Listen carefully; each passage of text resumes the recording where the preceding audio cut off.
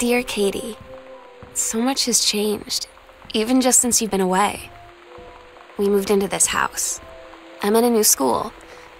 And my big sister being gone for a year doesn't make it any easier. It doesn't feel real. It's weird hanging out with girls.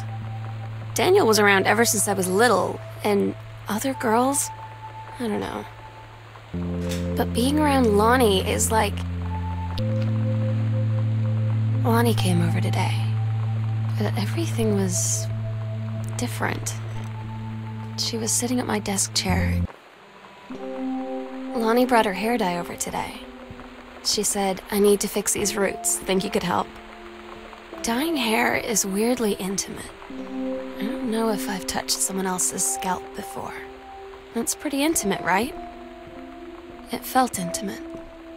We looked into the mirror together after, and I expected her to say something about how it looked crappy or good or whatever. But that's when she said, You're so. Oh my god. You are so lucky you finished high school before we moved into this house. So, it's the first day of school, and there I am, introducing myself to the class. And I say that I just moved into the house on Arbor Hill. All of a sudden, every kid in the room turns and just stares like I suddenly transformed into a mutant. I just stood there, wishing pretty hard for a re-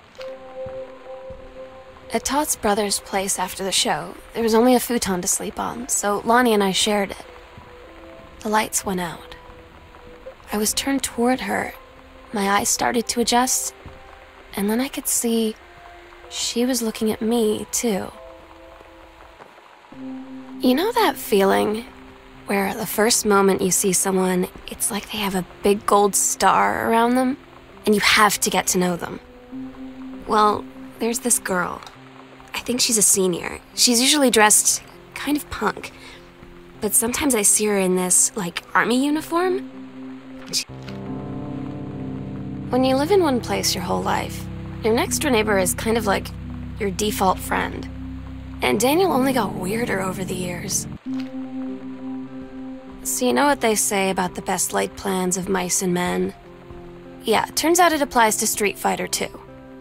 At least I worked up the courage to walk into the 7-Eleven and ask for a turn, but all that practice at home did not exact... It's different now. I mean, we still hang out all the time like before.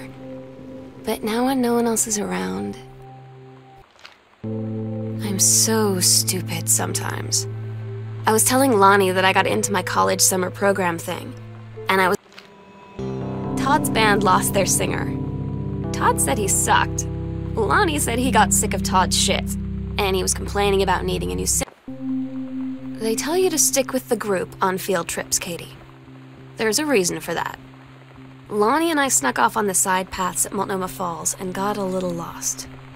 Okay, a lot lost like, for hours.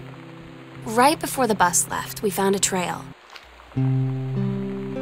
I don't get Lonnie sometimes. Like, her band, and our zine, and her hair, and everything are all anti authority. But I... Katie, you know how mom and dad are. Not exactly super open minded about things.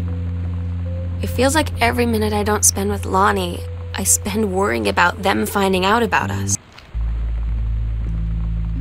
I had an interesting talk with mom and dad tonight. One you were never gonna need to have. I mean, you've known, right? I've known. Lonnie had her going away show with her band tonight. She's so incredible on stage. And she was singing I could practically forget everything. That we only. We agreed our last night together would be our happiest ever, and we'd forget tomorrow was going to come at all. It worked for a while. We had a good time seeing Oscar off, then ran up to the attic to look through our photos, to find one for Lonnie to take with her. And looking at them, Daniel finally came over to get his game. I'd been dreading it but he brought this story with him that I asked Lonnie what she had to do to get ready to ship out for basic training. She said Not a lot, really. You're not allowed to bring anything with you. You have no possessions, no contact with the outside world while you're in basic. You just train hard every day, and then you deploy from there. So, they'll just send her away. To who knows where. The other side of the country, the other side of the world. My mind, like, can't process it. She's really going to be gone. Just gone.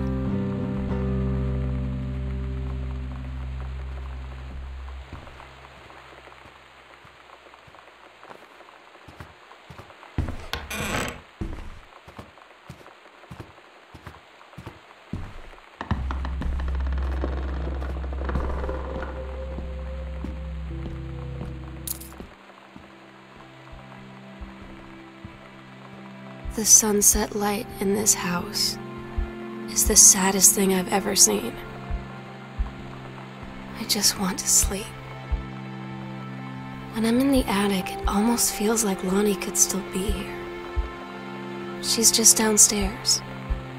I'm just waiting to hear her pull down the hatch and come running up. Maybe I'll go up to the attic and wait. meow, meow. Meow, meow. Meow. Meow, meow, meow, meow. Meow, meow, meow. Meow, meow, meow. Meow, meow, meow, meow, meow, meow, meow. Meow, meow. Meow, meow, meow. Meow. meow Sometimes you just have to lie to mom and dad. Like when Lonnie asked me to see a band with her and stay over at her friend's place in the city after. That's a lie to mom and dad's situation. But it was so. Oh my god. Katie. I, I fell asleep in the attic, in Lonnie and my old spot, and I missed the first two calls. I just barely caught the third one before the machine got it. And it was Lonnie on a payphone.